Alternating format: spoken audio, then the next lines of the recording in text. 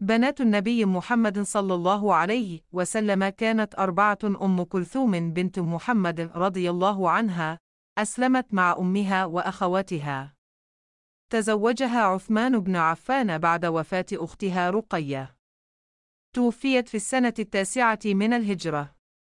فاطمة بنت محمد رضي الله عنها أصغر بنات النبي وأحبهن إليه. تزوجت من علي بن أبي طالب. أنجبت له الحسن والحسين. توفيت في المدينة في السنة الحادية عشرة من الهجرة.